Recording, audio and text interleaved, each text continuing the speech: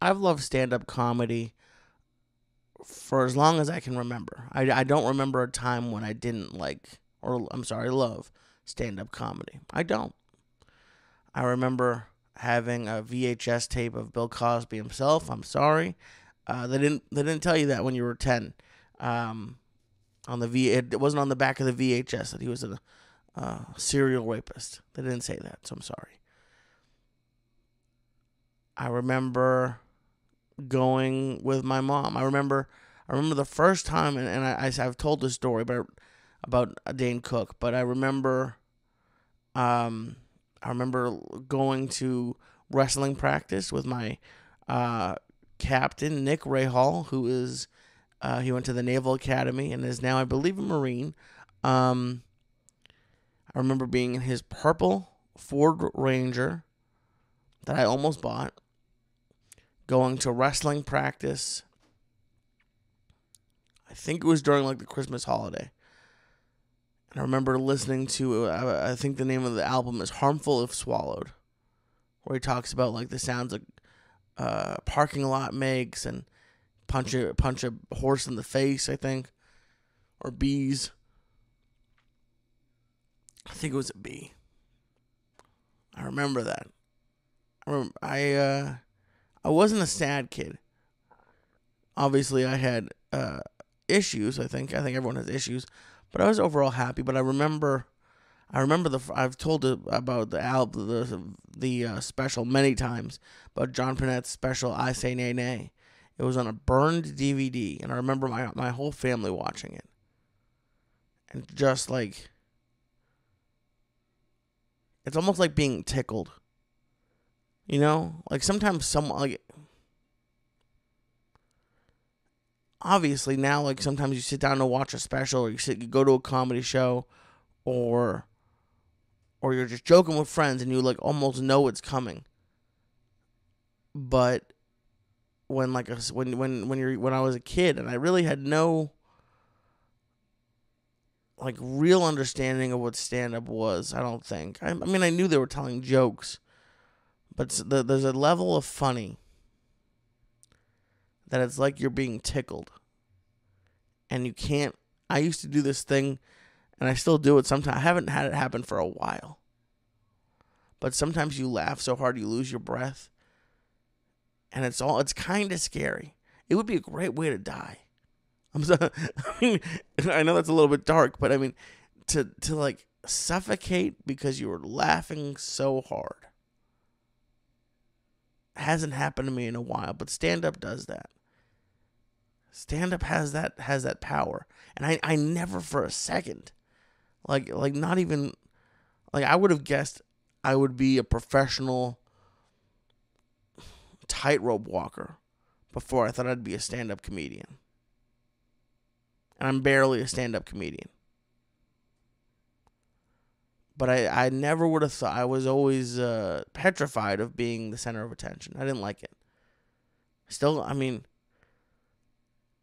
I'm more used to it now, and I like some parts of it.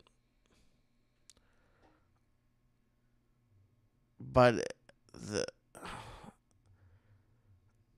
I I I would love to maybe do like a brain scan when I'm on stage and things are going well because I would love to see what part of the brain lights up. I would love to know because it, for whatever reason, it completely stopped my gambling. I was gambling. I don't think I would have been. I don't think they would have done an intervention on me, but it. I was gambling too much. I was doing scratch tickets because it's kind of hard to go to casinos in LA. Um,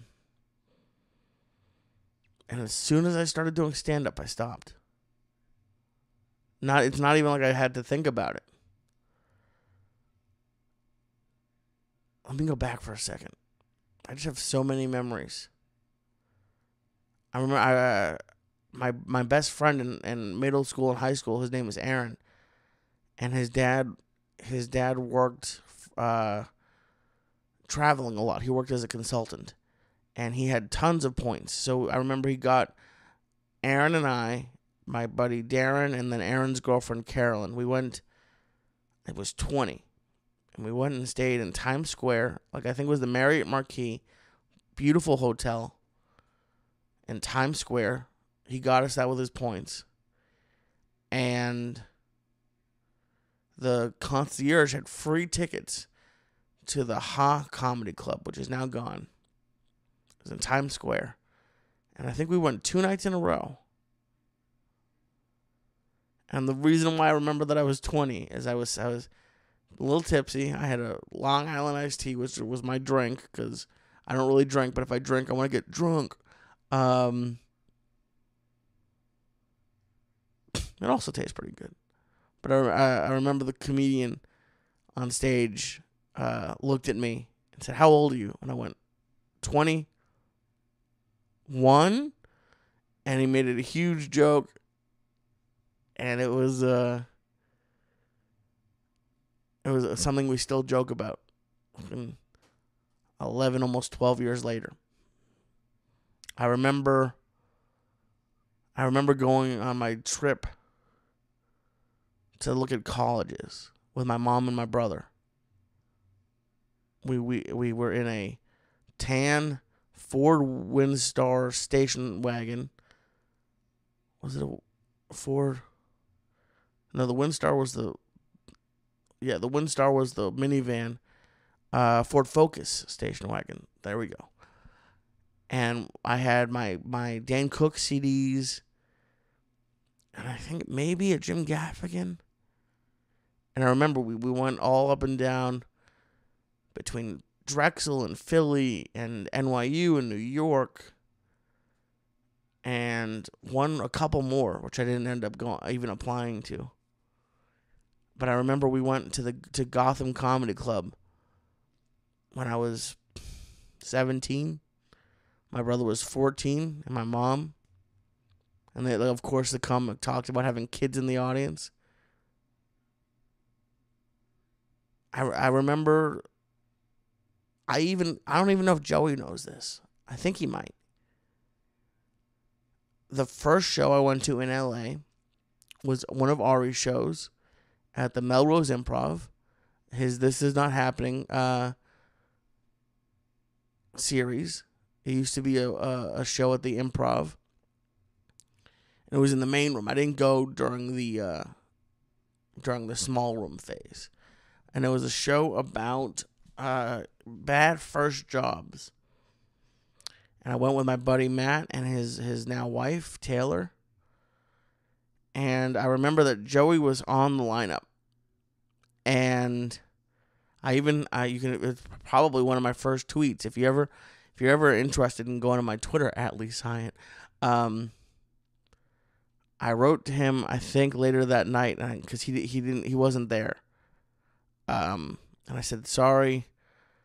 I, I I think I think Ari might have announced it and said like he, he has a TV show or some who knows who knows maybe got too stoned or who knows why he didn't go. But I I I, tweeted him. I said, uh, disappointed didn't get to see you, but I hope the TV show goes well. And I I think I'm almost positive he replied.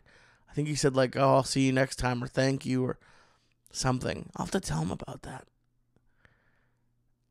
But I went to that. I that's what was probably my favorite thing about being in LA. Even before I met Joey, but definitely after. I loved going to stand up shows. I still love going to stand up shows. There's just some even alone.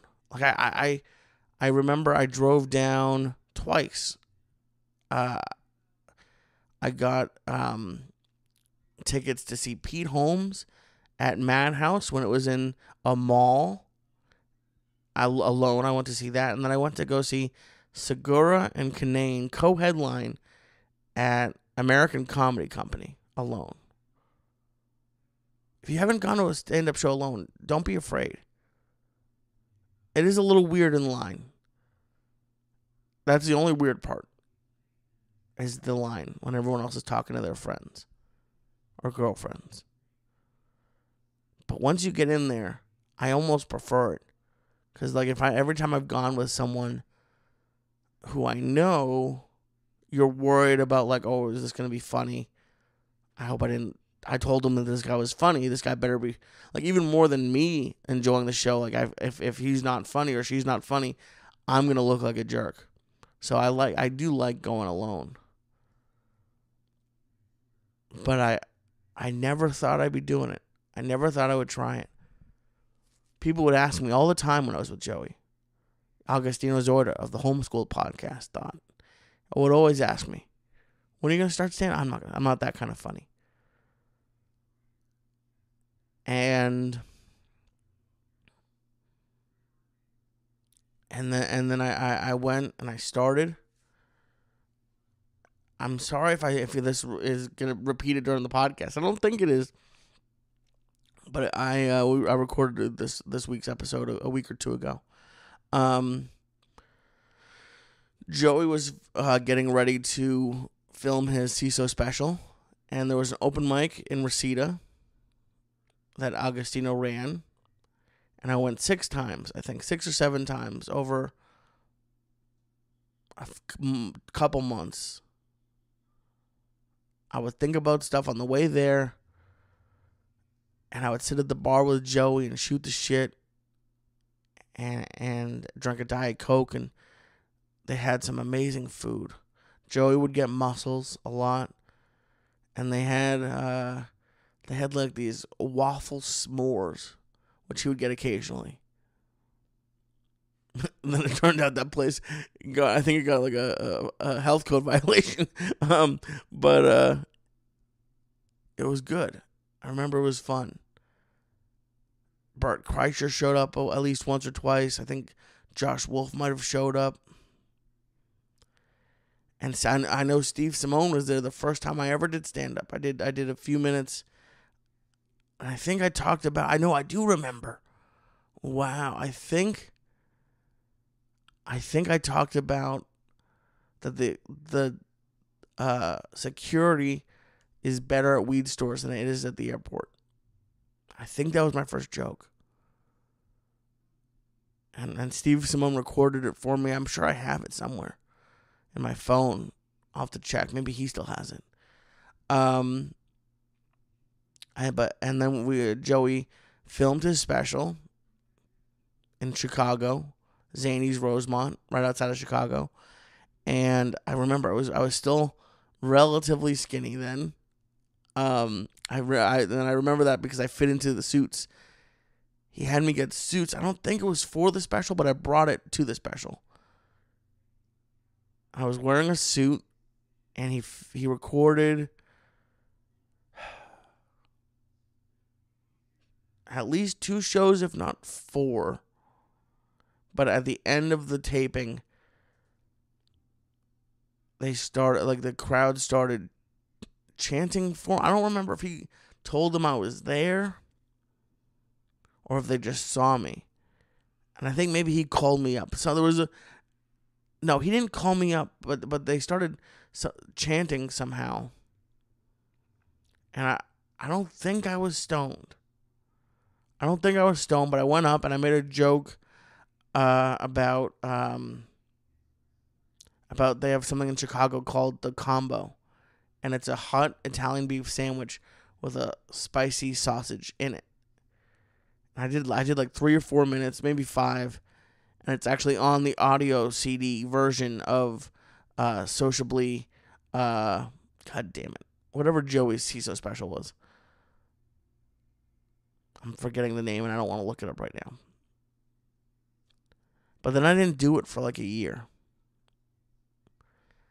I didn't do it. I I I was scared. I didn't think it was that kind of funny. And I wasn't that funny at the very beginning. And then my relationship was very close to ending. I think it ended within a month of me starting stand up, maybe two. And Joey had been telling me that there was a an insurance office in North Hollywood that was doing open mics. And and uh, I'm sure if you go there today, the insurance sign is still in the window. Um, but it was a essentially a barren room called the Fourth Wall. And I went there uh, at least, at least in my head, I went there really to not be seen. That was the goal to not be seen. Because I didn't. I know this sounds weird, but forgive me.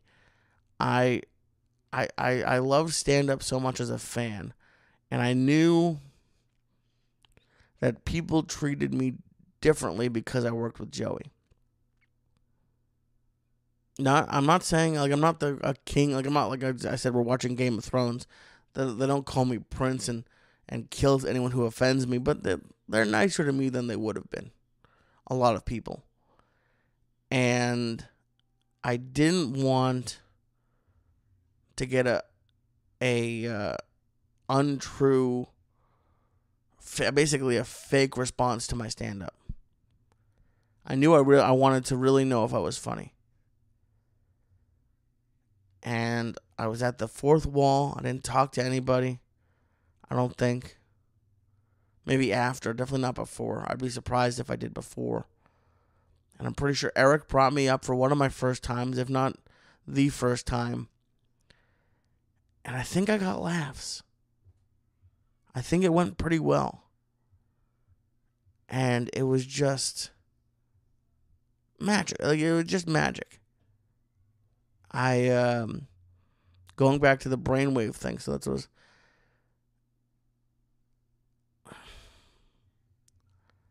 I wish I wish I had there been like some sort of stand up camp. And there are clubs that do them. And if you have kids who are shy, I can't recommend it enough. I mean, they do so. They I I did taekwondo and karate to. It's supposed to build confidence and teach you how to defend yourself, but there's something about stand up that really made me come out of my shell. And, And but it it could backfire. Because if you stink, you're going to feel really bad. But maybe not. I don't know. Even just a little laugh at an open mic. Like, I paid to go, I paid over a thousand dollars to the fourth wall my first year. I did probably God, probably closer to fifteen hundred because it was five dollars a set and there were and there were longer sets too. So some of it was ten or fifteen. But I just I, I loved it. I, uh, I I turned down dates because I would rather do an open mic. Now I kind of wish I hadn't. um, but I I got so hooked to that feeling because I I'm a very shy person especially in crowds.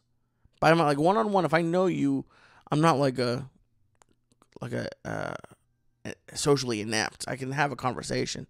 I'm gonna keep it mostly on you, um, but I can have a conversation. But like at a party, like when there's circles of groups of like if, like it would it would always blow my mind watching comedians like Joey or Rogan or, or, or really any of them. They call it holding court the, the term that they use, and and they sit outside of a club or even just at dinner with someone. Like I've always been very. It's not even stand up. I've been very jealous of people who can walk into a room and everyone's happy to see them and they, they laugh with everybody and they tell stories and I'm i I'm completely almost completely the opposite. Um but I when I started stand up, man, it was like sort of like two different versions of me in a way. Like pre stand up and after stand up. So BA and no no B BS and AS. I just I don't know. As, as as terrible as it feels to bomb, and it feels uh, trust me, it feels awful.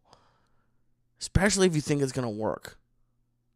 Like if it's been going well and you try some jokes and then it's just met with silence.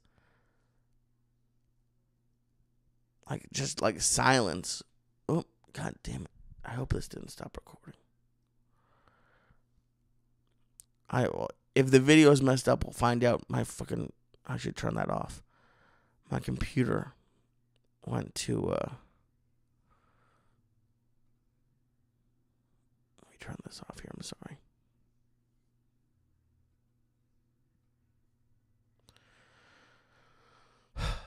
Where was I? Right, the silence. It's just deafening. Like you start sweating even if you're not hot. Your mouth go like you if you think you oh, I smoke weed, I get cotton mouth. Yeah, yeah. Um try being on stage in front of fucking 10 people, much less hundreds. And, and, and think you're telling a joke that, that is going to make them laugh and they just stare at you.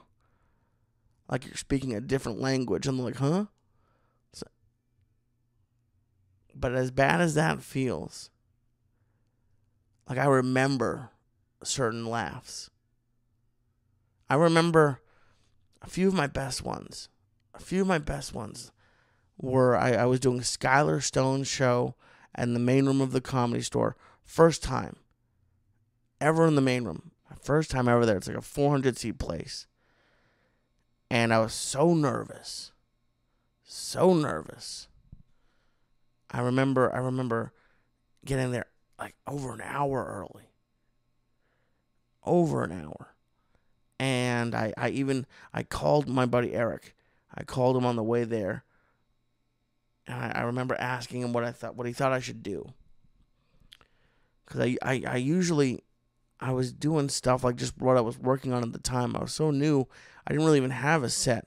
And I said, no, you're doing the comedy store, do what works.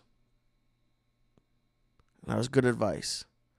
And I remember the comics were in the green room, behind the com the main room stage. And I mean, comics from the history books have been in there, but I couldn't sit in there everyone was talking because it was it's normal to them. It's normal to them to be doing that, but I, I, I remember I scared people. There was a old piano in the back with a, a chair sitting there, and I just sat behind the piano, in the dark, and I, and people were like, "Oh my god!" Like they didn't know anyone was there. And I, I remember I was so nervous. I drank just an empty, like a half empty bottle of water that I thought was mine, but wasn't mine and normally that would freak me out, but I I was just so nervous. And I went up and I fucking I did really well. I got a I got a an applause break. I think it was might have even been a standing ovation. I definitely got an applause break. You can ask Ryan Sickler. He came up and talked to me after. He's like, "You don't understand. Like that doesn't happen on your first time at the comedy store." And trust me, I've done I did not do well other times. So don't this is not me bragging. I guess it is a little bit of a brag. But like I'm not that's not the point of it. I'm just saying I I, I remember the way that felt. My name my name will never be on the comedy store wall. But I I, I always have that. I remember God all the clubs in LA. I remember I, I but I, I remember the Wilbur Theater, and I, have told that story, but just briefly, it's the club that are the not club, the theater that I grew up going to as a kid in Boston, Massachusetts. And I, I remember earlier that day, I, I, I walked the walk I did hundreds of not thousands of not thousands hundreds of times from Emerson College where I went to school and, and basically um, basically uh, to where I lived in the North End. And I, I saw old apartments that I went to, and I picked up, I picked up baked goods with, uh, or from a bakery that I used to go to, and I, I it was a, a, it's called a lobster tail. It's not lobster. It's like almost like, sort of like imagine like a, a hard croissant in a, in a, but in a good way but inside is like I think it's uh cannoli filling. It's ama- it's amazing. But I remember I remember my mom came and and Joey had gotten I think it was like a four hundred dollar. He was he wasn't mad at me, but he was he was annoyed because uh, we were the, we were in town for less than twenty four hours, I think, and he got Steve myself and himself each a hotel room because we, we had we had uh we had done That's right. We'd done Foxwoods the night before. And I didn't do that well in Foxwoods. I didn't bomb, but I didn't do well. And I was surprised because I'd been doing well. I'd been on like a, a little bit of a tear. I, I had flown home to see my mom, and we went. I did a show at a bar in, in Cambridge. No. Yes, Cambridge, I believe. And it was like a back room, and I did really well there. I did really well there, but I did not do well at Foxwoods. And my mom got all dressed up and came in and came in my hotel room, and we were just sitting there talking. And I remember I went on on the balcony with my notes, and I just paced. I just paced and went over my notes. And I was so nervous that I was going to do poorly in front of her. And I, I, I went up first in front of 1,100 people, two, two, two tiers of people at the Wilbur Theater. And I remember, I remember being to the side of the stage, just waiting for the, the sound guy to, to bring me up. And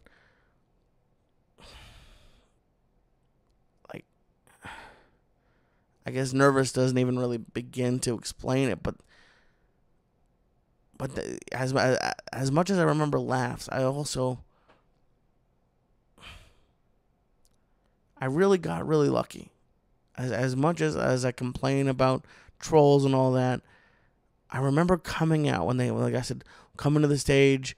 Uh, I think he said like you know him as the Flying Jew or you know him from the Church of What's Happening Now, and it it it sounded like they they called David Ortiz to the plate.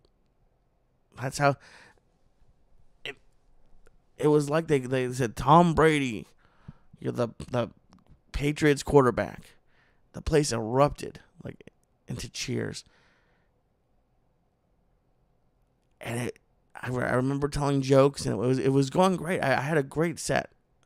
But the laugh that I'll remember, the best laugh probably that I got uh, or the most important one, I guess, is I told a joke and I don't remember what joke it was part of, but I, I my mom and I laugh or she laughs at me because I never like sticky things. I, I I would I would purposely get milkshakes because I didn't like when ice cream cones melted. And I I I hated that. And I, I said something to the effect of that, like that I, I it wasn't even really that funny that that part, but it was a silent room and I heard my mom laugh. I was I made like 1100 I think I did 10 minutes and I made 1100 people laugh for the majority of the 10 minutes, but at that one line that I've never said before and I'll probably never say again, I'll have to listen to the recording. I'll see if I can find it. I can't promise that it'll be in here. But if I can find it, I'll I'll find it and I'll put it in. I wonder if the recording picked it up because it was almost silent. And then suddenly I heard my mom laugh. And that that's probably the best laugh I ever got. Because it was just cool to, to do it in front of her.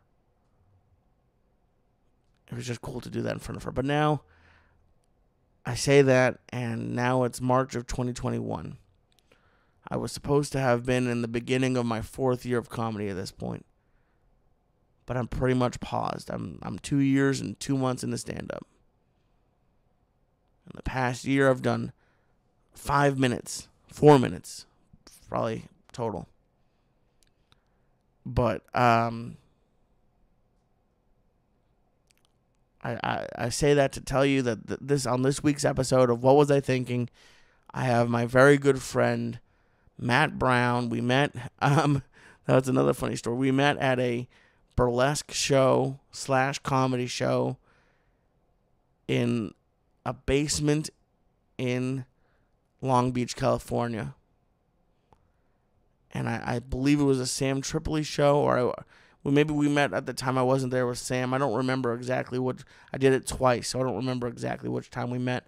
But Matt is from the Boston area, and we connected, and um, I have him on today we tell stories and we we joke, but I I I asked him on to for anyone who is thinking about doing stand up or maybe you just started and you're thinking about making the move to a bigger city.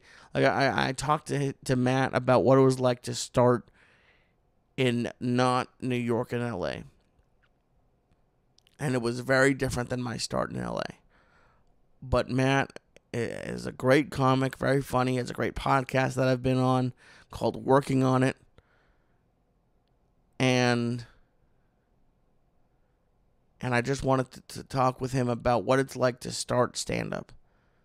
And if you're thinking about it, I, I hope what I just the the reason why I did that whole diatribe of stories is really just to you know paint the picture about what stand up can do for you and what it did for me. And I'm sorry that there's no video in this um, intro.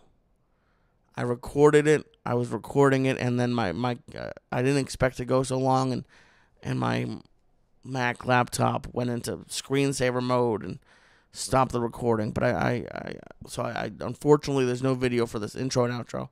There is video for the uh, podcast. I'm putting up all of my other podcasts onto YouTube. Um, so go check out my YouTube link in description. And if you want to support the podcast, uh, please consider checking out my Patreon, patreon.com slash Lee Syatt. Or uh, if you want, um, you could also, if you're thinking about starting your own podcast, I have a Fiverr consulting uh, service. You can talk about whatever you want, whether your podcast is new or it's it's it's uh, been going on for a while. I've done a bunch of them in February, and I, I had a great time. I, am going to continue doing it. So th- those are the two ways you could support the podcast. Or if you don't feel like spending any money, uh, just tell a friend. I, I really do enjoy doing this, and um, I'm, I'm looking forward to continuing doing it. Thank you for all the love and support on previous episodes. If you missed the one about uh, Bitcoin, Bitcoin for Dummies, with Shahan Kahashian, and I didn't even have that written down in front of me, just my own memory. Um, that one has got a lot of positive uh, reviews. So if you're at all interested in Bitcoin, go check that out. But now is time to uh, talk with my buddy, Mr. Matt Brown. Welcome, Matt. Been what like a couple months. I think I came on uh, in December to your podcast. Yeah, it, you did, and man, it was um, I've been doing the podcast for four years, and it was the best wow. best response I've ever had. Like hands oh, down. that's awesome. That's great. I mean, you've had some cool people on there, yeah. and we'll, we'll, talk about that in the, in the future. I want to. A, it's awesome that you've been doing it four years. Yeah. But um, for everyone who hasn't listened, I do want to just because it's such a great story. Matt and I met in L.A. doing shows at a burlesque show in a basement in Long Beach, um, and it was fun. But like it's it's just so weird how small this world is, and it turned out that Matt's father, Wayne, uh, was my old boss at a movie theater when I was in high school and college. So it's uh, it's just amazing. How's Wayne doing? Is he doing okay? Yeah, he's doing good, man. And it's it's so weird too that um, not only did we meet in L.A. at a random comedy show at a burlesque show, but when we met there, like we also found out we grew up five minutes away from each other, and it took us I moving know. to California. Yep, it's uh, it's it's and, it, and honestly, it shows you, because I mean, I don't know. Sometimes I feel like I'm too nice. Like I, it's I just did an episode about dating, and uh, an issue I felt like I've had for a while is that like girls don't like nice guys, and I feel like a lot of a lot of people do give shit to nice people, but um it shows you that you really do have to sort of, especially in the entertainment industry, you never know who you're gonna run into again. So Like, imagine if I had been a like, what if I was a dick to your dad, or like, it's like, it's yeah. it's nice to know that like, nice people actually can survive. So it's good. Like that's that's what drew, drew me to you. You were nice. Like there's a lot of comics you meet at shows and they ask you who you are, and if if you can't help them, like they turn around and like I've literally had like when I used to go to the store with Joey, we'd be in the parking lot after in like a little circle, Mm. and some I remember remember vividly. I'm not gonna put him on blast, but this guy went around to like everyone in the circle and shook their hand, looked at me, and just turned. And I was like, oh, okay, well, awesome. But we, uh, I think we connected right away because I knew you. You told me you were from Boston. Did you? Is that was that that must have been it, right? Yeah, we we found out we're both from the East Coast. And dude, to go off of what you just said, man, about LA and people are like, "Oh, you're not you're not rich and famous. Fuck you." Dude, Yeah. that I made I've the first 2 weeks I was out there, I I like I learned that and I was like, "Man, I don't want to create a like community of those people. Like I want to hang out with just like the real comics that are nice and in it just to cuz it's fucking it's comedy, you know, and it's not they're not just like trying to like it's like everyone was like star fucking out there. What can you give me? How many Ugh, movies have you been yeah. in? And I don't know if it is the East Coast thing, but none of that is appealing to me. Like if I, if I met like Sandler or something, like he's like my guy. I have him right above my right. Yeah. You kind of look like him. You look like a young Sandler. I, I can see that. I'll take it. But uh, uh, like, of course, there's certain people where you're like, oh my god, you know. But the people that would only hang out with someone just because of what they're doing, man, it it was uh it was it was brutal. And when I Oh yeah. I I mean I ran into it a ton, and luckily Joey was a good. He was a good mentor in a bunch of ways, but he was smart and he like let me know like people would hit him up to try to get to Rogan, and I learned very quickly like that people will send like my dad. it- It's it's so funny. Like my dad, I, I'm in Florida for like I've been here for a few weeks and I'll be here for a couple more, but my dad got a message on Facebook that just said like, "Hey, I'd love to hang out with you and Lee and smoke weed." Like it's just like, like what do you do? Like they, like they just go down the list of who they think can get them in touch with them, and Mhm. it's um, like I I I I, I don't want to put anyone on blast, but did you ever go to the fourth wall? yeah.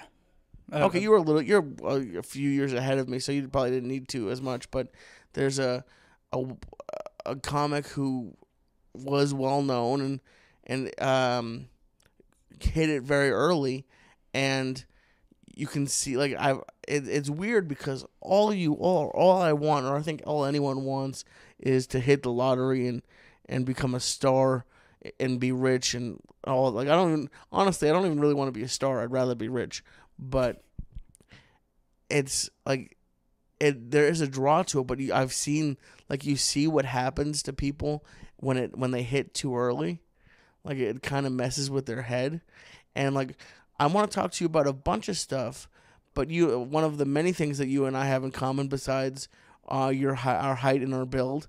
For those of you who are listening, Matt's Matt's my dream body. Um, and he's wearing a, a shirt for his podcast. I'm working on it, but if I were him, I'd be wearing no shirt. Um, but he also recently moved back east uh, temporarily. I think I think yours is more temporary than mine is. yeah. But yeah. you st- you started stand up in Massachusetts, right? Yeah, started in Boston. Um, I have. Uh, I'll, I'll give you the story real quick. Yeah, I, please. I have a um, a whole list of things like I want to do before I die, and Okay. it's kind. It's li- it's like literally a bucket list, and I do my best to do everything on it. And I wanted to do stand up forever, and Wait, are you are you dying? Are you sick, or you just something you want to do? no, I, I Okay, I didn't know. I, I was like, I thought I know you pretty well, but do you have cancer? Okay, Dude, imagine if that's just that's hilarious. Uh, that how that just happened. But um, no, I'm thank God I'm healthy. Okay, thank- yeah, fortunately, yeah. Um, but I just I don't know. I've when I was super super young, I I think too young. I realized that like you're gonna die someday, and I have a whole list of things I want to do, and stand up is like that's what I want to do with my life. It's my dream. It's my my everything, and um, on it I had written down uh, do stand up before you turn or at age 21. Like that was the latest I Oh, could wow. start. So, so uh, before just interrupt for a second, I remember because we you grew up in this same area. I went. I remember going to the Natick Mall, and going to, I think it was FYE or did they used to have a strawberries at the Natick Mall? I know for a fact they have an FYE Yeah. uh, for your entertainment for all the youngins out there. but I I the I thought it was FYE. I remember going to a store, and I've told this story, and I, it's unfortunate that it's the person that it is. But I bought the VHS tape of Bill Cosby um, himself. I think is the name of the album, and I watched it a thousand. And I was just a fan of stand up. But like, what do you remember? Do you remember like what you saw that made you want to do it? Yeah. Uh, anybody watching on video, it's above my head. Happy Gilmore. I I fucking Really? Yeah. This is signed by Sandler and stuff. Whoa. Yeah. I It, he is my. I saw Happy Gilmore. I think I was like six, and I just I loved everything about it. I just saw it on VHS. Like it wasn't in the theater or anything. right. And And then- and but and did you look him up? Because I I mean I didn't even really know Sandler did stand up. I thought he was just in the movies and only like in the last few years like oh wow he did stand up. Yeah, well, it was like it took years. It was like I saw that movie and I remember thinking like I want to do that, like whatever it was. I you're six, you don't know. I, I just loved it, and Right. and then um, I throughout years I would just keep watching the movie, and then I realized other people knew who he was and that his name was Adam Sandler and it wasn't Happy Gilmore. Oh okay. And I'm like, wait a second. Like people like this is a person playing this person. And then I learned that he did stand up and got to do SNL. This is all from like age 6 to, you know, 12 that I'm just like learning all wow. this Okay. stuff. So you did a lot of like for those of you how old are you Matt? Do you mind I'm, me asking? I'm 28. Okay, so you're wow, you're like four to five years younger than me. So you were okay. Do you remember when you got a computer in your house? I feel like it was like elementary or middle school for me. Yeah, I was um I feel like my parents got a like a giant thing when I was Yeah, desk a desktop with a uh, eh, the the the uh, monitor could kill someone if you threw it at him. Yeah. And like like and we had one we had a family computer in the living room. Yes, exactly. So and like and I had an I I always had uh, harebrained money making ideas. So I had an idea because my dad. I'm sitting in a room. My, my my room while I'm here is my dad's normal TV room, and he has like he has like an 82 inch TV. He has 8,000 uh, Apple products, and he he loves tech. That's where I, I get it from. And my dad, we had one of the we were one of the first people to have a computer uh-huh. in our neighborhood, and I had an idea to print pages out from the internet and sell them. print what kind of pages? Like it's just anything. Like if you wanted to look stuff up, I'd be like, "All right, let's." And I never did it. It's, it's a terrible idea. Like, No, what are you that's- printing? but Cutting edge. but but back then, not everyone had laptop. Had, had, had not even laptops, desktops, and it was dial up. So like, Mm-hmm. I'm just blown away that like you would, even at such a young age, be like, let's look him up and see what he did. And wow, like I don't even know what was around back then. Was like, were you on Ask Jeeves or something? like I remember. Like, No, a lot of it was just like word of mouth in school. Like I, I'd be talking Really? about a Okay. movie, and then someone else is like, you know, qu- like "so long, sucker," like quoting Happy Gilmore, and I'm like, wait, and I just remember being like, people know that they know Billy Madison, and it was like a, it just blew my mind, and then I like learned that that was his job and stuff, and I was like, well, what? That that's all, and ever since then, it's like all I've wanted to do. Period. so so do you want to act? Is that still something that you're interested in? Yeah, and like what I was saying before about when I started doing stand up, I was too scared at the beginning. And so I just started taking all these acting classes and stuff and um I would do like just like sh- like student films and shit. And it was all just Okay. I was just too scared to do stand up. And then um that I, my list was on there, my birthday was coming up and I just uh did it. That's awesome, man. I mean, it's uh, a lot, and that that is a. There's a few things I want to talk to you about, but starting because I I I, uh, I got a lot of questions about it, and it's not I guess it's sort of could be construed negatively, but I think like the podcasts, the comedy podcast genre, specifically like the Rogan group, and I'm sure the other ones because there's like there's the the Nerdist group and and um, the alternative uh, whatever, but I I would be interested if there was some sort of number that like between the year of 2010 and 2020 the number of people starting comedy went up like 300% or like I, I really do feel like it really exploded at that time partially not that they made it sound easy because everyone talked about their struggle and how hard it was and the shit gigs but you you also saw the end of the road and you saw like a Rogan who was selling out theaters or even at the beginning comedy clubs and you and Marc Maron and and you see like the finished successful product and you're like oh it must not be that hard. And it like what I kind of want to do with this podcast I'm going to have a couple of my other LA friends on is sort of to give like a more realistic view of what it's like as a newer stand up. I mean, you're what now? Like, are you like close to seven years in? I guess. Yeah. Wow, that's wild. Um, so it's uh, and and the the difference is because I started in L.A., which I've heard is awful to do for a variety of reasons, but I also started. Like the internet was huge. Like the there was, and I'm sure you've heard about it, but for everyone who is there's a website called the Comedy Bureau in LA, which just made it so simple to find an open mic. Like it's there's really no if you're if you're in LA and you're like I can't find an open mic, you're just a liar. Um, because like they, they just like they literally for between San Diego and Santa Barbara have almost every open mic and before the pandemic there was like seven eight nine ten whatever 20 a day of of open mics, so it was not easy. Like you still have to write and go down and, and get the nerve to do it.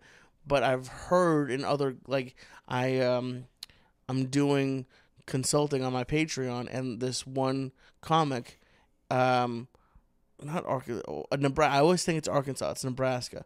He is living in Nebraska right now and lives three hours from the Funny Bone, and can only do like one open mic like a month or so and then he and then the covid happened so he hasn't been able to do it in a year.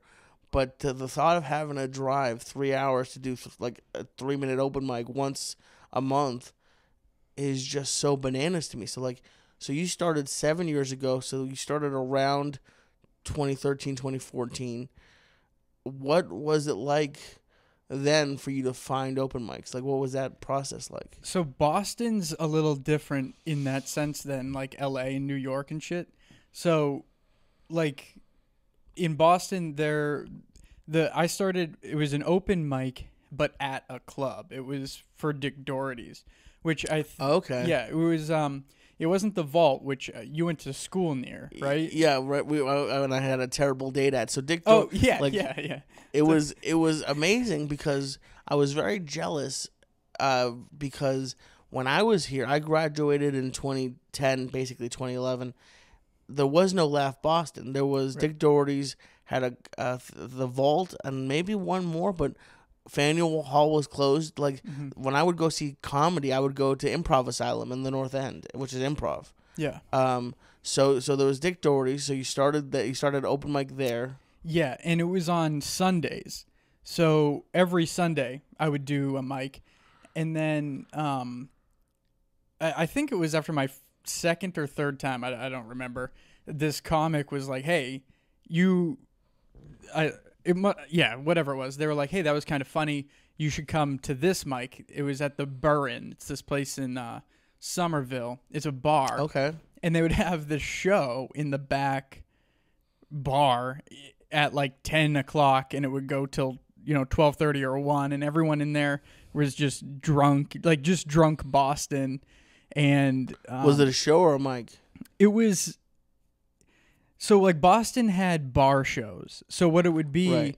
it would be set up kind of like a showcase. So there'd be like 10 comics on it. Right. And everyone's doing like 10, 5, 10, or 15 minutes, depending on what. Wow, you got that after like only a couple times going on stage? so, like, my first few times there, it was five minutes. And then I would go and hang out all night and not get to go up.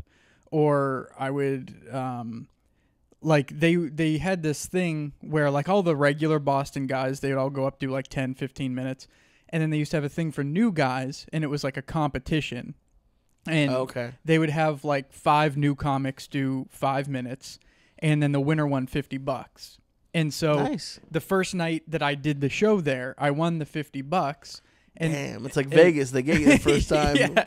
and so then when i went back i would always just i would dude i would like email like an asshole all the time and then i would text the dude who ran the show at the time and then when he wouldn't answer i would just show up and i would wait and be like can i do a spot and it, like all the time it was no but because i went that time won the 50 bucks and i just went then they started giving me five minutes so like every wednesday i was doing five minutes and then i would Wow. and then I would go Sunday night. And meanwhile, that show is for typically like eight drunk people. And then Right, once yeah. in a while, it would be awesome though. Like for some reason, because all the colleges were there, there'd be like a bunch of college kids and stuff, and then the show would be real cool. Oh, it, I mean, and and it's it's really weird. Open mics are obviously where you have to start, and I'm nowhere near being done with them. But it is what I've noticed, especially like even just going up to Bakersfield when I was in LA, is like the open mic there. Unfortunately, it closed. It was called the Rocket Shop Cafe. The open mic because there wasn't much else to do in Bakersfield got like 50 people. So like Yeah. even though like there's eight drunk people in that bar, you learn a lot more there, and you and it's at least I feel like it's more a better use of your time there. I, I and it's like I struggled with something even at open mics that I would get really pissed if I felt like I didn't do well. Mhm. Even at open mics, which I learned, I got a really good piece of advice from a comic named uh, Johnny Rock, Johnny Roque.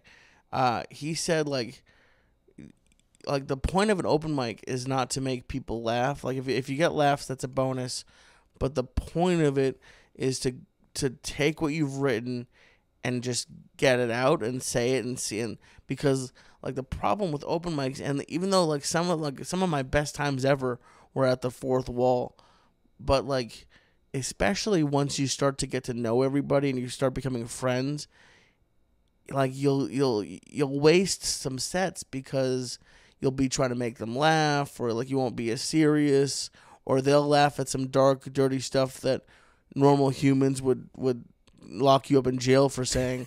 So it's like it's um it's pretty cool even though it does it sounds like you didn't have as many opportunities you it, it it's like I know comics who spent years in LA and and didn't even get to go up at the Sycamore Tavern. Like it's just it's uh it's a hard thing. So you so you had Sunday and Wednesday. Yeah. Like how how soon did you start going out like multiple night like like almost every night of the week? Well, what ended up happening was then so there were only so many shows in Boston and Right. uh, it, it's basically like a bar show and then there are like the the open mics but what ended up happening Dick Doherty's um you know they were they were really good to me and a lot of people have different stories and interactions with them yeah, everyone's different. yeah, and um, I like there's a bunch of famous examples from because a lot of like uh, people started out there, just whatever. Um, but they were really good to me, and about three months in, they started having me host weekends at um, the place called the Den in Boston, which is no longer there. And Okay. at this place in Worcester, which to this day is one of my favorite rooms to ever perform in. I've probably done a couple thousand shows in there, and What is it well, called? probably a thousand, but yeah, it was Dick Doherty's. But they had um, okay. it was yeah, it was just upstairs at this. It was like in this attic of this restaurant in Worcester. Uh, is it of- still there? Um, no, it's uh, I think it, it turned into something else, but I think COVID got rid of the it. Woo Ha Ha now, which I think is owned by the same people who own Laugh Boston. Yeah, but and I, that's where my mom lives. So like, when I'm hoping once we get the vaccine and the world opens back up, it'd be great to have a like a legitimate club, ten minutes from me. yeah, no, for for real. And that opened right when I moved, so I haven't I haven't performed there, but I've heard only Okay. good things. But So so you were saying you you, you, you the Dick Doherty was good to you, and you you did a lot of shows in Worcester. Yeah, and that place, that's where I started to learn a lot because, you know, I'm brand new, and on the weekends they were selling out in Worcester. And you're in a room, it's a small room, and it holds 80 people. And when there's 80 people in there, it's like crammed. It probably should have held like 65. So there's Is 80. it, is it sort of like stage two at the Ice House? Um, yeah, a lot like that, but low. The ceilings were even lower, and there was a bar in the corner. And dude, it, it would everyone's just sweating, like no matter what time of year it is, because there's just Right. people crammed in there, and it smelled a little weird. And everyone that went there was just like a hardworking New Englander, and which is Sounds m- perfect my fucking comedy. exactly, and it's my favorite. And um, I'm a few months in. I don't even have five minutes of comedy, but they're giving me a five minute spot and I'm hosting. So I'm going up at the beginning of the night and I have to get everyone's attention, you know, and everyone's talking and ordering their drinks and all this shit. And there's 80 people not listening to you. And, right. And the, yeah, the Worcester crowd isn't isn't known to be the most uh, welcoming. yeah. and keep in mind, look how young I look now at 28. I'm 21 up there, and I weigh like 145 pounds, and I'm just like, oh, like look at me, and I'm I'm I was still in the phase of like combing my hair to go on stage and like trying to figure out who I am, wearing you know like these button up like this bullshit. And Right. I'm trying to get people to listen to me tell a joke about seagulls and shit. And and that stuff, man, it formed everything for me because I figured out how to get the attention of people. I put five minutes together that worked on a paying crowd. And throughout time of just doing that, different headliners and stuff would come through and they'd be like, Hey, I have a show for this fundraiser next weekend. Would you like to host it? And then I got 10 minutes of material. And then people would be like, hey, would you like to come open for this fundraiser? Would you like to do this? And it slowly unraveled. And while doing all those shows during the week, I would I would do the Burren, especially at the beginning. I kind of stopped doing that in the middle, but I would I would go there and then I would drive an hour and a half every Tuesday to do four minutes or five minutes at an open mic wow. in um, uh, Quincy, Massachusetts, and I would do that, and I would just go up as much as possible. And a lot of the times the shows sucked, and then um, this show that I love, and the place just closed because of COVID. Uh, this place called McGreevy's in Boston had been Mhm. around forever, and um, my friends started a show in the basement, and dude, it was my favorite, favorite, favorite place ever to work on material. And people would have to stand. Everyone was drunk. It was a Monday and Tuesday night. I would go there every single week, work on new material. And the great thing about that room, if material worked there, it like worked anywhere on the weekends. So I, Right. I just loved it, and I would just try everything. You could get a real grasp, and um, yeah, It's it's weird. I, I and and trust me, it's like it's like the same thing for podcasting is with stand up. Is like I've been on great shows that have had four people in the audience, Mhm. and it's it's just so hard to promote. Like I was I was just sitting here thinking I spent three years basically at Emerson, and I didn't really like Emerson people, and I hung out with my friends from from high school and the that I worked with. But like there'd be nights that I would have been I would have loved to have go see a comedy show, and I just I- feel like I would have remembered seeing anything about like it's just it's it's it's sad that there's really not a great way to promote those shows.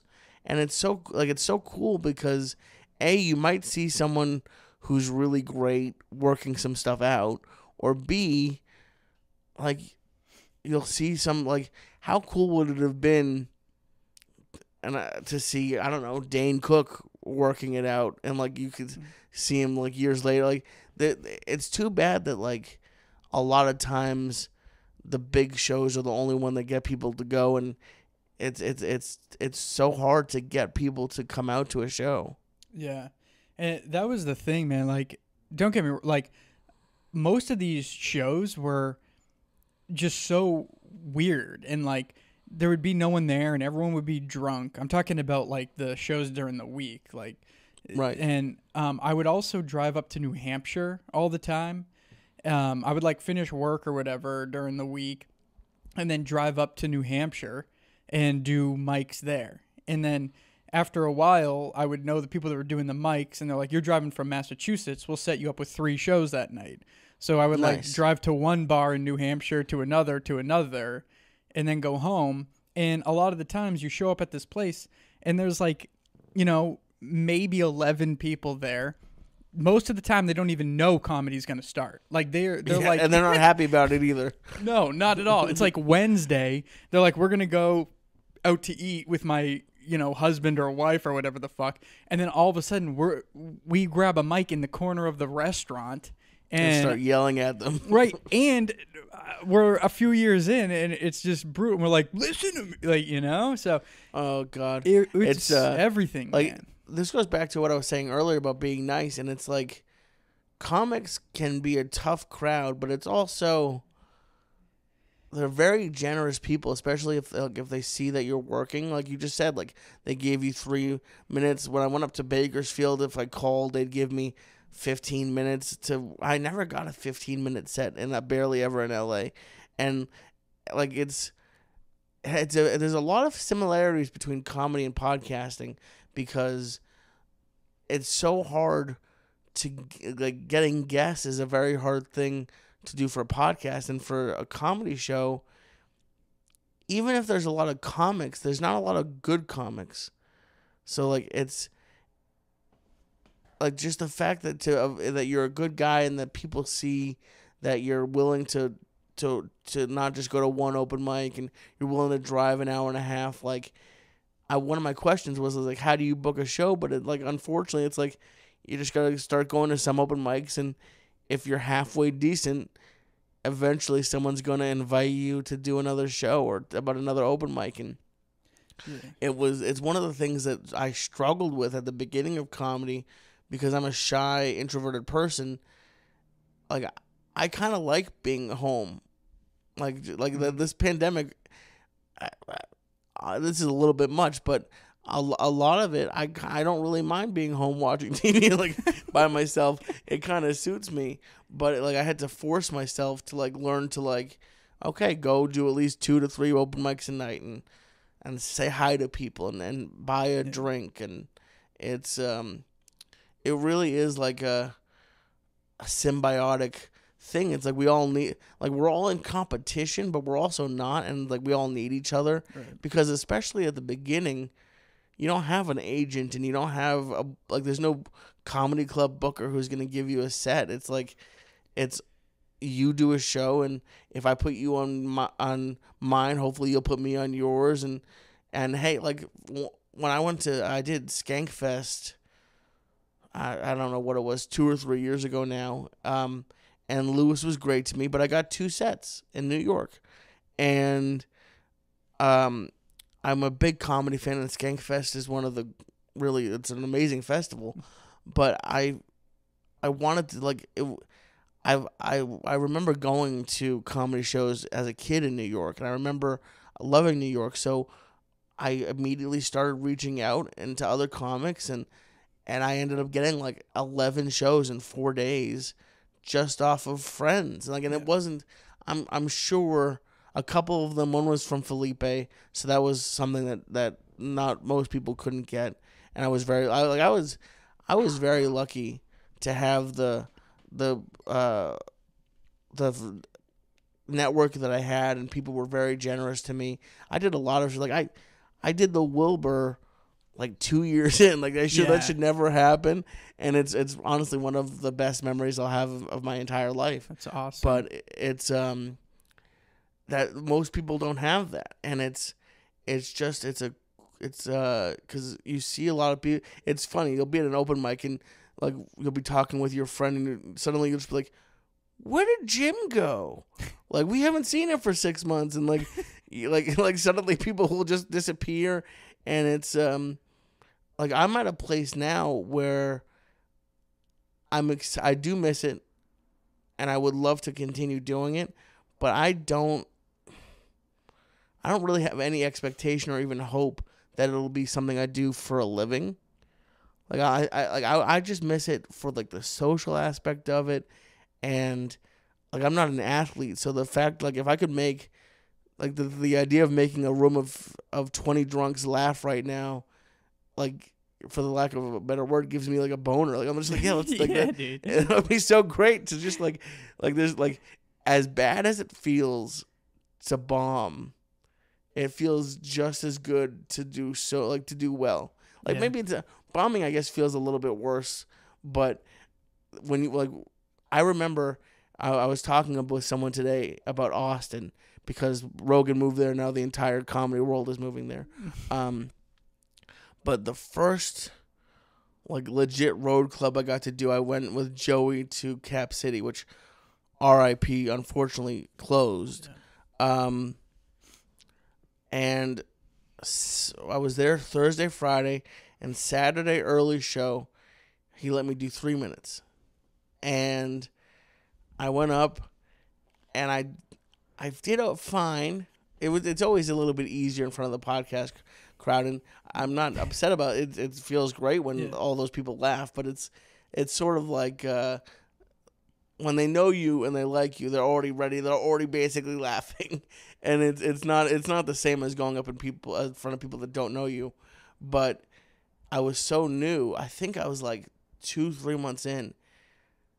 I I remember uh, for those of you who in Austin or anyone who's been there, if you're looking at the stage, stage right, no, what's your stage right? Is it the au- the it's the audience is right, the performers left. There's a little like walkway to get up, and there's some tables, but there's also a wall that the audience can't see behind. So I remember doing my three minutes and putting the mic down and walking off, and I didn't even go back to my seat. I couldn't make it to the back of the club. I went and put my back, I hid behind the wall, and I I leaned up against the wall, and for like what felt like like five to ten minutes, my legs just started shaking. Like like all, it was like when you do the UFC and like you hear about adrenaline dumps. Yeah. Like I just had so much adrenaline from being in front of a sold out audience. Like literally, I was Yeah. shaking, and That's it funny. was uh, just wild. Like, do you remember like you've talked about hosting, but do you remember like like a real like important set to you? Yeah. First of all, you were telling that story and talking about how like you were going behind the stage and like put your head on the wall, and I'm like I'm like about to get emotional because I thought because I've had those moments where you're like, oh, I can't believe this is real, and then you go in and my legs couldn't stop shaking. yeah, that was hilarious. Um, it's true. but that's just not where I thought that was going. Uh, but yeah, man, like for it's such a comedy, you have to love it. Like, um, I don't know if I said this last time you and I spoke, but Whitney Cummings has this thing that I think about literally every day of my fucking life, and she was like, um, "You don't choose to be a it, like, uh, you don't choose to be a comedian. It's something you have to do."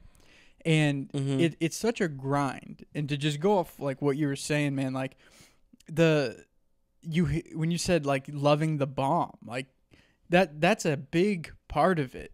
I've i grew to go you know the great shows are awesome but there's so especially at the beginning there's so many more just shitty shitty shit shows. And you learn to love that experience and to sit in those moments. And instead of being scared with it you form like this relationship not not to sound like a cheesy douche but like you you you form these like this relationship with that weirdness and that uncomfortableness and those moments become comfortable and you love that. Like it's more i always said in those moments it was the crowd felt weirder than i did. They're like nervous Right. and feeling like awkward and i'm like i love this moment because you See, feel weird and i don't on I I- that's that's your experience because I had just I had just started my third year. I was like two years and three months into it when the pandemic hit. So I don't consider myself three years in. The last year was nothing. Um, but like, I I gotta be honest. I it doesn't affect me as much as it used to. But like, there's a club in New York that I did twice, and I I did not do well at twice, and now I don't want to go back. Like it's like I'm I still get upset like it like it gnaws at me like when I don't when like the worst is when you have like two shows in a night and the first one goes well and the second one you bomb Yeah. and then you can't go on stage for like at least another day or two Uh, like it's it's it's like having a form of OCD I think like I just I just started like you like you suck like why did you do that second show you're terrible like it's yeah. I, I I'm not at the place yet where I enjoy the bomb. I still I still want to want to jump off a bridge when I bomb like that. Well, I, I gotta like explain that because if, if I'm at a club and that happens, I'm pissed at myself. okay, But okay. because like if it's like a paying crowd, it's a club, you've done the bits before, like chances are you know you're you're fucking up. But like I'm talking about the weird rooms and the strange Oh, okay. shows, and then you're in someone's Okay. backyard or you're on a rooftop somewhere, and it's just strange. like I love that because that's. No other art form has that. What the fuck's happening right now? You know, if a guy is playing the guitar, he's playing the guitar, and people can just go about their night and like drink. But when you're when you're doing stand up and it's fucking weird, it's just weird for everybody. And Did you ever do Robin Hood in, in North Hollywood? no, I don't think Uh, so. Amir Khalil ran it. It was a mic, and it would run from like eight to midnight or something like that. And it it was in the back room of a British pub, but like the stage changed a bunch of times. But the last place the stage was was in the middle, like literally the middle of the room. On a, a brick fireplace that you had to step up on top of the fireplace, and you had to play the four sides of the room, and there was literally like poles in the middle, yeah. and people would come in. Like I remember once there was this like Hasidic Jewish guy in there that like just was trying to have a a meal and a, a drink by himself, and every comic was just going after him. and it, but like, it's that's true. I I have. I got to a place where stuff like that wouldn't bother me as much, but I gotta, like, it, it, it takes some sort of zen. Like, do you know how many years it took you to get to that place where, like, even a bomb at like a bar show wouldn't affect you? It's so what I like to explain that though, like bombs would af- affect me because I was like, I want to be amazing at this, you know? Right. Like I don't like if I, I bombed or something, that shit like I fucking hated that. You know, especially if I felt like it was literally my fault, not circumstance, I would be like, what the fuck? But to be comfortable with just like trying bits and if it got weird, being able to sit in that, I don't know, maybe like three and a half, four years in, I like Okay. I started kind of like just not giving as much of a fuck of like I don't know cuz I when when I say I don't give a fuck I don't mean I don't care about how I'm doing like I want to do Right. well but it's more of like the attitude or something where you're just like ah, I'm, I'm not worried what they think of me maybe that's what it is you want them to laugh but you don't care what they think of me Got So it. that so was I want like to skip ahead. three and a half I want to skip in. ahead a little bit. Okay, s- got it. Three and a half. So, um, I when when did you make the decision, and what what were like the factors where you decided it was time to move to LA?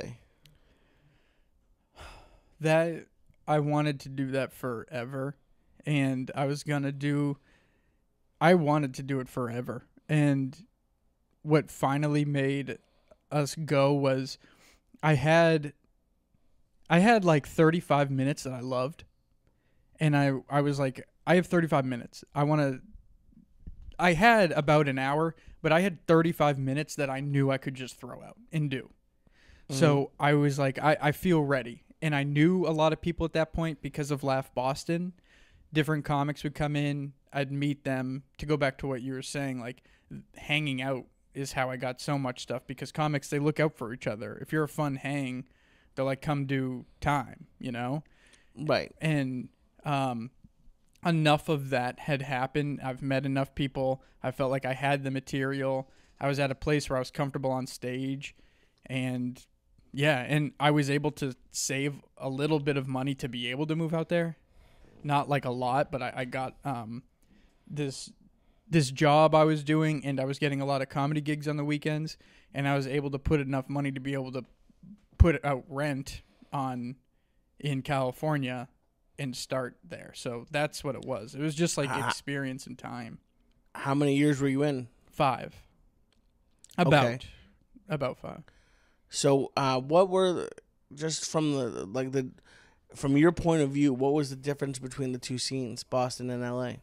So, um, Boston is it's a much smaller scene, and um, L.A. makes you a better comic for sure because in Boston it is bar shows and it is clubs, and um, you see a lot of like the old Boston guys in town because I, I would get to do like the Kowloon and stuff, which you and I talked about Oh, nice. Yeah, yeah. and you see a lot of like the guys that have been there since the 80s and i don't know you can you can get away with more generic material in boston for sure okay. and because in la you're going to the comedy store and you're seeing joey diaz and bill burr and chris rock and joe rogan and whitney cummings and all these fucking national famous headliners so i feel like there's a little you have to be a, a, that much better because what people are just seeing in town is better okay, that makes sense. but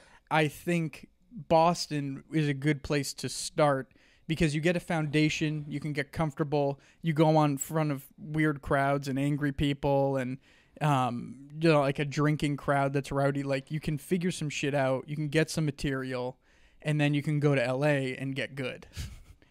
Right. So, what I want to talk about now is like, uh, there's so many comics who I know moved to Austin, and I don't. I honestly don't really understand it. Um, I know. I know that it's open-ish, and you can do some some stand up there, but like, what? What was the thought process behind moving back to Boston? Because like I know a lot of people, myself included, like looked at me moving back, was like, oh, did I fail? And like I, I honestly, I think there's a difference. I think if it was normal times and like you lost your job or you weren't getting spots and you moved back, like it's okay, but it is a kind of like a failure. But now, like the way I look at it with the pandemic, I look at it like a like a smart business move. Like so, like for example, there's a there was a, cha- a restaurant chain called Soup Plantation or Sweet Tomatoes. It was just a, a salad bar soup chain, and they closed like my. I, the only reason that I know it is because my dad went crazy for it, but like they closed like 90 restaurants within like a month of the pandemic starting Whoa. and like they just saw the writing on the wall. And I look at some of these other restaurants and businesses that struggled for a year and probably will be like 2 years at least and just burned through so much money and and work so hard and and they're going to like they're going to have no savings and and and they're going to lose a lot of stuff. It's like was that the thought press thought process behind moving home? You're like, listen, th- there's no reason to pay LA rent right now. Might as well save some money, go back, be closer to family, and LA will always be here. Yeah, it it was it was pretty like simple, straightforward. Like if the pandemic didn't happen, I would still be in LA. So Right. it has it is like when you talk about like what it, you felt like it could have been failure or something. If the pandemic didn't happen, you and I would both still be in LA. And Right. the only reason that we came back was because it was the pandemic. At the time, it, it was September. You know, shit shut down in March. It was September. Nothing was still open. And we were like, it's going to take a while for LA to jump back on its feet. It's going to take a while for anywhere. And I figured, you know, if everything shut down, we might as well just be near family for now. And because if, I, if I'm not doing shows in LA and I'm not doing shows in Boston and I can still do my podcast, you know, I've kept in touch with everyone and it's been a great thing to keep doing during this. So we were just like, right. let's just go home. My sister just had a, a, a second kid. My girlfriend's sister had a kid. So we were like, let's just go home for a, a, a year and then move again. So that's Right. that was it. Okay. Okay. Well, I I uh, I like You know? I'm I'm in Florida right now with my dad, and th- I I heard it's been is it snowing right now? Is it? I, I heard it's been Bro, awful up there for like uh, dude. this last. I picked the right time to come down here. Apparently. My God, I've I've shoveled more fucking snow in the last month than I did in the last four years of my life. Oh God, I feel so bad. My I went up there to help my mom, and we uh, I think there was like one or two storms that we had to shovel for, and literally like the week I left, it snowed like four times. But she's doing she's doing fine. But Good. I uh, other than that, I don't I don't miss the that weather at all. No. So I, I want to um, finish up by talking about your podcast. It's called I'm working on it, Yeah. and you've done it for a while, and it's it's impressive because a lot of people a start podcasts and fail, and b you you you don't have a ton of like high level connections like you can't call Rogan or whatever. Mm. But you you've you've worked really hard at it, and you've had some like you've had Mark Normand on, Mhm. uh, you've had a bunch of other like high level comedian guests, and I just wanted to like hear about that, like like when you started it, how you go about getting your guests, like just give me a little bit of a rundown. Yeah. So, um, first of all, thanks again for doing it, man. Like, Of I course, you did that what five weeks ago or something. I get I I'll send I get messages every single day still. oh that's so cool. Every single like a hundred percent of days. People, I don't know, man. Like you have a real supportive fucking group out there. I, I'm very lucky. Yes. and um and that's for real but four years ago i started it and um it it's it was just interviewing comics in boston and the whole point of it was kind of just to get that green room green room feel of like what it's like to chill with comics and Mhm. it's called i'm working on it so we would just talk about like what people are working on and stuff like when you came on you talked about your weight loss and stuff and uh you could tell that you're still doing it man and Wait, wait. you can tell that that I haven't lost the weight, or no that, no you can tell that you have you can tell you, that you can tell still you got a long losing ways to go there, Lee. no the fuck literally the opposite of what i was saying Well, thank you. I uh, appreciate. i was saying you can tell that like you you're still working out um, Oh, I'm yeah, I hitting am. on I'm- you. I'm- I- you, no, you realize it? Trust me, trust me. I'll, I'll, I'll we'll, we'll stop this recording. and I'll take my pants off right now. trying so to fuck, bro. That's hysterical. So Um, okay, so That's so why I've been in a people- relationship for nine years. I say a nice thing to someone, a girl slaps me at the bar. I'm like, no, I mean I like your tits. It's, it's a Right. whole fucking. I mean, uh, you're a nice person. Oh, but- my god. yeah, no, you just like I could tell that you're still working out. Um, Thank you very much. marry me, but but um, yeah. So I, I would just have comics on, and we would talk about like, what they're working on and all this shit. And I did it for a while, and then I started to like do a million different things. I did. Um, I was getting influenced by too much, which I never let myself do, and that it that was hard for like a year and a half. I kept like going, "Oh, this person does this. Should I try to be more like that? Should I do all this shit?" right. And I did that off and on for like a year and a half, and then I was doing solo episodes, and then I would have guests on, and then, um, like during the pandemic, I stopped the podcast for like a couple months, and I just regrouped, and I said, just be yourself, and I, I went through this whole fucking thing because of the pandemic and stuff, and I finally wasn't like busy all day, doing shows all night, writing, trying to do this, trying to get that gig, doing this podcast. And I just like let go and I started meditating and all this shit and it fucking Wow. it changed my life, man. And I was able to find what I found when I first started the podcast and first started comedy and what I had done my whole life. I was just able to like find my s- like who I am again, like to be just me. And um which sounds cheesy and shit, but it it's true. Like no, I- it's what makes a good podcast I- and a good comedian. I, I just had to like find myself again and just be myself. And I said, fuck it. I don't really give a shit what anyone thinks or says. I haven't my whole life. Why change that now? Just be me, and have on people that I want and I like and that I've met and that I think are interesting that I look up to. And I started doing that like four months ago. And more people started listening in the last four months than the first almost four years. And I, I fucking swear it's because I was finally just going back to my roots and just being me. And like buddies like Mark Normand and shit were doing it. And um, yeah, people just started listening. That's awesome. And and what, what was what was your process like? How did you reach out to like a Mark Normand or or your bigger level, bigger guests? I just, you know, I've doing stand up for seven years. You just meet people, and I Okay, so you you knew them already. It wasn't like a cold email. no, I I like people that I would have been like too worried to talk to or whatever. I it was rooting back to like all the meditation and shit. I was like, "Nah, just be honest. Just fucking you know them. You bumped into them. Like Mark, I I never had you know hour long conversations with, but we had done a couple shows, ran into each other, had good interaction. So I was like, "Fuck it, I'll ask him." And then he was like, "Yeah." And That's awesome. and Yeah, no, you just gotta get out of your own way and just like, a lot of times you're like, oh, maybe they they, they would never want to do it, but uh, the, you, you don't know until you ask. And as long as like there's a level of like ask, and if they say no or they're too busy, that's fine.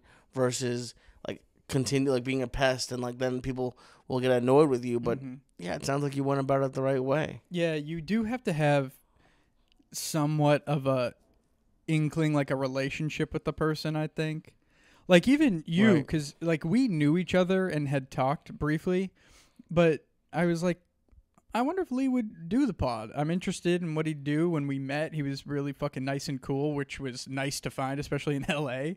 yeah. And then we um, found out that we've basically known each other our whole life somehow. and uh, yeah, I was like happy that I, I reached out and that we did that because Absolutely. Yeah. That's well. That's awesome. I I really appreciate you coming on. Um, I, I, we always have a good time together. So we're we'll have to come back on each other soon. Do you want to give your your social and, and just tell the people the name of your podcast again one more time? yeah, the podcast is I'm working on it with Matthew P. Brown. It's available everywhere. And uh, four months ago, I started putting everything on YouTube. So um, people are slowly going over and subscribing. Everyone still seems to kind of be listening on iTunes, but um, go over to YouTube and subscribe, please. And same with iTunes. It's on Spotify. It's Google, like literally everywhere you get a podcast. And um, yeah, it comes out every Wednesday. I just started a Patreon, and I'm gonna be Nice. putting up solo bonus apps and stuff. And uh, uh, my po- my uh, Instagram is Matt P Brown. So that's all. Well, awesome. Well, everyone, please go follow him. And and once this god awful pandemic is over, if you see he's doing a show near you, definitely go see him. Very funny, very nice guy. And um, thank you so much, dude, for coming on. Yeah, thanks, man. This was I loved it. Thanks for having me. thank you, Matt, for coming on. He's a great guy. I can't, I still can't believe that his dad was my manager at the movie theater in high school and college, I guess. Wow. Yeah. So shout out to Wayne and Matt. Um, if you want to follow Matt, his Instagram handle is Matt P Brown. His podcast is I'm working on it. He's had a bunch of great guests, Mark Normand, um, myself, obviously, fantastic guest. Um, and I believe he just had Adam Ray on as well. So go check out I'm working on it. Um, if you're thinking about doing stand up, go for it, man or woman. I you might not be good. Most likely you're going to stink. It's kind of like going to Vegas or gambling. When you like the first time you might do well and then you might not do well ever again. Um but it, it's I was I was thinking like I, I know I said in the intro that um my my name will never be on the on the comedy store wall. And that's that's fine. It's true. But it's I can't recommend it enough as like a way to make friends, to be social. I don't know how to make friends as an adult. I, I don't. I wish I did. What are you? What do you, I I I other if if if you don't work at an office or just anywhere, if you don't work with people, I don't know how to make friends. I know how to make online friends. I guess you could play video games and talk to them, and but like real life, like you could touch them friends. I have no idea. Other than stand up, I guess you could start knitting. um, but there's always an open mic. I know right now there aren't really that many open mics, but there are some depending on where you live, and there are Zoom open mics. Uh, my my biggest piece of advice that I can give you if you're thinking about doing stand up, as shitty as Facebook is, as much as I hate Facebook, just search whatever city you're in, like a major city, not like don't don't search fucking Timbuktu. I don't know. Think of a shitty city. Um, whatever major city is near you or state, if you're not near a major city, put that word in and then stand up comedy, and I guarantee there's a Facebook group about it. I guarantee. If you're in the LA area, there's LA comedy scene. There's also uh, we talked about it on the podcast. There's uh, the Comedy Bureau as a way to find open mics. I know for a fact that there's the Bay Area Comedy Network. I know there's one in Houston. I know there's one in, or at least a couple in New York, um, and Boston probably. So th- there's one near you, and and just go there and there's ask about open mics, or maybe they have a, pay, a list of them somewhere. Um, and there's Zoom ones now that you can do from anywhere. So try it out. Try it out. Um, as I'm pretty sure is, is something on your mom's house. I, to be honest, I, I'm I'm a little bit behind on your mom's house, so I don't really know what try it out means. It's most likely something either disgusting or sexual, um, but or or both. um, but give it a shot. I'll say that. Give it a shot. Um, it, it, it, it it's one of the best things I've ever done in my life, and I look forward to continuing it as soon as humanly possible. Um, I'm still in Florida right now. I'm in Florida. Um, I do some exciting news. I guess I uh, the soup kitchen where my dad uh, volunteers uh, is I'm helping them to start a podcast. The soup kitchen of Boynton Beach, Florida. So I'll I'll let you guys know when that's out. Um, I might be down here for another month. There's a chance I might be able to get the vaccine. Um, and I'm gonna try that because I'm at risk and I have parents who are older and uh, I'm frankly sick and tired of being inside a little bit. I want to go out and not see that many people, but you know, occasionally see someone. Um, thank you to everyone on my Patreon. I'm super close to hitting 50 pounds gone.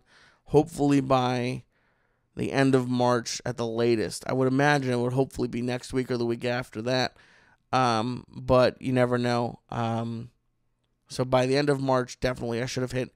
If I don't hit 50 pounds gone by the end of March, there's a problem. Um, got a long way to go, probably at least another 100, if not more. Um, but it's going well. I had an annoying day today. I uh I don't know how it happened. I, I brought my PlayStation with me to, to Florida, and it, it's been in a, in the box the entire month I've been here, more than a month that I've been here, and I was opening it. I was gonna do a stream on Patreon, and I could have sworn I saw the power cord. I could have sworn that I saw the power cord, and then I just couldn't find it. I even called my mom in in Boston and had her look in my room, and she found I wasn't hiding them, but before we left, I think I had told you guys that I I got uh, some Girl Scout cookies, but I left ha- half of them in uh, Boston, so I, I wouldn't. And I haven't. I honestly, Scouts honor, have not touched one of them. Uh, they're still in my bag. Uh, maybe I'll have a couple when I hit 50 pounds lost as a little treat. But I, I had my mom go check them my room for the power cord, and she found the ones that I left in my room, and and now they're her cookies. So that's actually probably for the best. Um, but I, I, I, it's something like I, I got caught in the rain a little bit, not too bad, but a little bit, and then I couldn't find, and I thought I was going crazy, and then I went and I checked the bag with the cookies, and for some reason, the power cord was in there. So, the moral of this story is, um, always check the cookies. It was just you know I, it's a very minor thing, but I just when when you know you found something or when you know something is there and you can't find it, drives me absolutely bananas. I actually almost considered not doing this episode. I was like, and you know what? Something did go wrong. Something went wrong. I my video went, my video didn't record, but I liked the intro, so I'm keeping it. Um. So wow, today today was not my day. Also, I guess I guess maybe because I I uh I have Avid. I have a really good editing software, and I can't get it to switch to my new computer, and the Avid wants to charge me like forty bucks to do tech support phone call. So if anyone works with Avid, uh, let me know. I'm probably gonna have to buckle down and do that forty dollar tech support call. But um, go check out my YouTube. I am putting up old episodes there. Most of them are gonna be just audio. I am starting to record in video, and um, and so they'll have that. But that's it. I'm doing pretty well. I, I, I didn't want to do this in the intro. I wanted to keep it mostly uh, stand up based. But overall, I'm doing great, guys. No complaints, really. I mean, there's always a. Com- I love complaining. I, I even had teachers in school like be like, you should stop complaining. I love complaining. Um, but I really don't have too many right now. Other than other than than not having as much money as I'd like, um, which I guess is a constant complaint of mine. I don't think I've ever been happy with the amount of money that I have. Um, I'm doing pretty well. I'm happy with it. I, I am looking forward to having um, an adult sized bed again. I've been on twin beds, and now I guess now technically I'm on a cot. It's a good cot. It's like a memory foam one, but uh, I am looking forward to having an adult sized bed again. And I think I feel like when you're talking about beds, it's time to, to cut your losses and say, uh, thank you for listening to the podcast. Thank you for everyone who has done my Patreon or has uh, did a consult consultation with me over the last month. Uh, check out my link tree. It's at both of my social medias. And you know what? I'll even put a, a link to it in the description. Uh, it has links to YouTube. It has links to where you can listen to the podcast. It has links to my my uh, consultation and my Jewish heritage. Who knows? Um, and that's it. Thank you very much to Matt. And uh, we have some great episodes coming up. Thank you for listening to What Was I Thinking? That might have been the first time I said it. Maybe I said it once in the intro. Um, but thank you. And and this is just the beginning of the ride, you guys. So we're we're, we're going to have a lot more to come, but for now, thank you. I hope you're well. Please stay safe. Please be nice. And um, take a nap. You deserve it. Have a good one. I'll see you next week. Bye.